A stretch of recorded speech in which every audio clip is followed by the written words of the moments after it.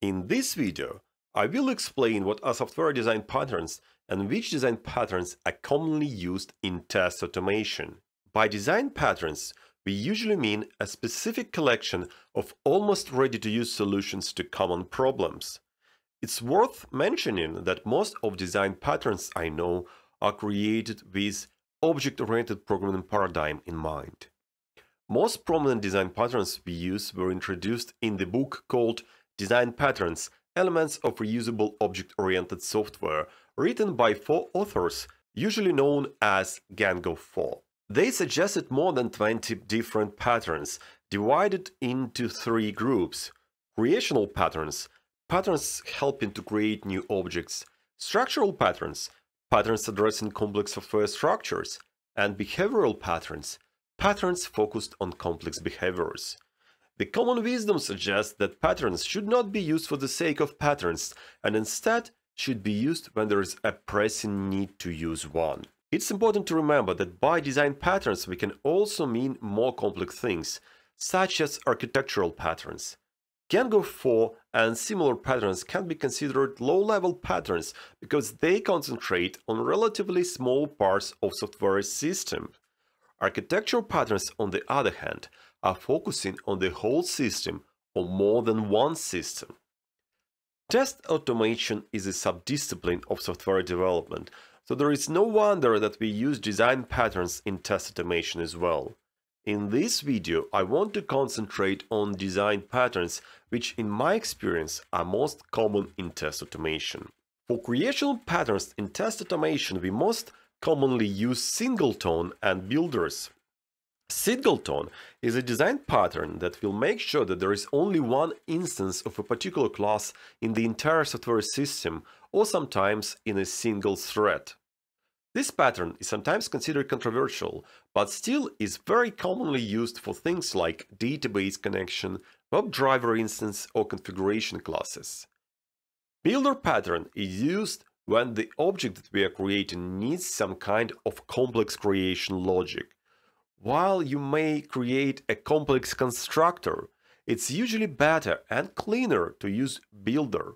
In test automation, builders are used for things like building complex requests to APIs, SQL queries, or complex test data. One of the behavioral patterns that would be nice to mention is iterator. These days we don't implement iterators ourselves, as most of the programming languages provide iterators out of the box. However, it's not the case for Memento pattern. Memento patterns is designed to save snapshot of the class state in time. It's quite convenient when you need to validate a particular object which change state often. For example, instead of validating data on a particular page, you can make a memento for the page and then validate the memento. So if page gets updated, it will not affect your test scenario in any way. We use quite a few structural design patterns in test automation. Let's start with the composite which describes a group of objects that are treated the same way as a single instance of the same type of object.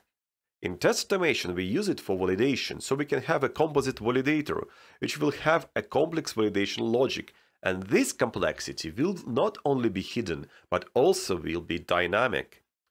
Facade and adapter are design patterns used to mask complexity or inconveniences of a particular system that we have to deal with. In fact, the whole page object pattern is a bit of mixture of facade and adapter. So we use these design patterns for working with web pages, APIs, databases, or any other external system which are not so easy to work with. Finally, proxy is a pattern that allows masking a particular object with an imposter, which will either have a completely different functionality or, most often, will extend the functionality of the proxied class. In test automation, we most often use proxies for mocking. I hope this video was useful for you. If yes, please hit the like button, it really matters a lot to me. This video is a part of a paid course on test automation framework architecture that I am working on now. The incomplete course is already available on Leanpub, and the link with the discount is in the description. When the course is ready, it will be available on Leanpub and Udemy platforms. If you would like to know more about any of the patterns that I mentioned, please drop me a comment and I will make sure to make a video on the patterns you are interested in. It was Dada Sasha and Test Club.